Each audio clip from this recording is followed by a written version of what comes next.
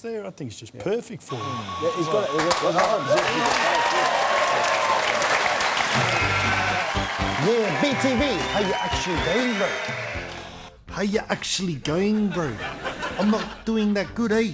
I'm freezing. It's so cold here.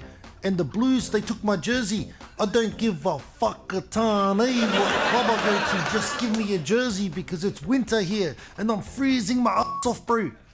Just want to make the announcement that the NRL team that does happen to be lucky enough to sign me has to meet all my requirements and demands from my manager.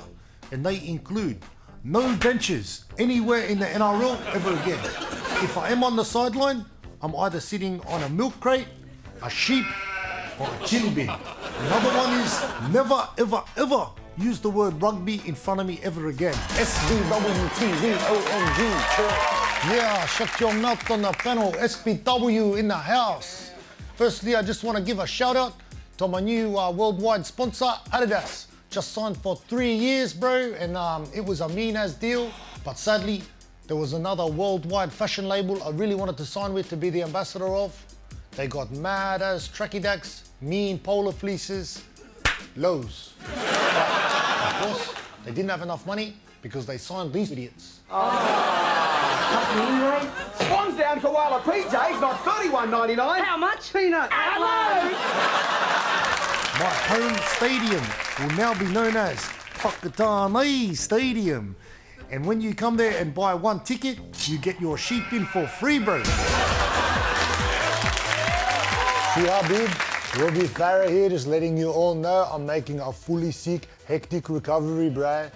My good-looking uncle Azif Farah and my ugly auntie Manuk Farah have concocted this nasal spray, bruh, which is fully crazy hectic. It's got garlic, tabbouleh, hummus. Another demand is I want the hangi made in the locker room so I can cook up heaps of choice meat before the game just for me, not for my other teammates. Also, Habibi, I have called on the world famous psychic Nostrildamus Bra to help me with my recovery. Where is she? Where is she?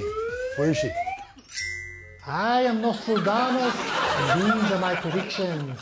Firstly, if New South Wales want to win the Origin series, they must pick a team full of people with big noses. Players like Laurie Daley, Ray Price, and of course, Peter Sterling. And of course, myself.